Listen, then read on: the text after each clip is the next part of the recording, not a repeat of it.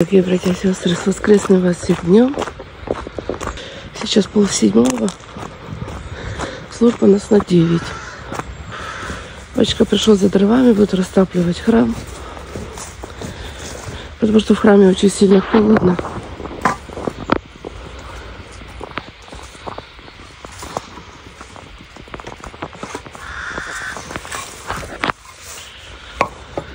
Вот так батюшка носит дрова,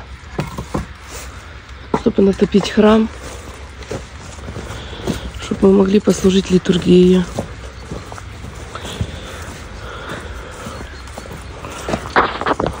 Жалко очень, что не будет газа, у нас в храме будет холодно. Честно говорю, я даже не представляю, как мы эту зиму перезимуем. Мы так не служим, знаете, мы служим так, что вечернее богослужение мы не пропускаем.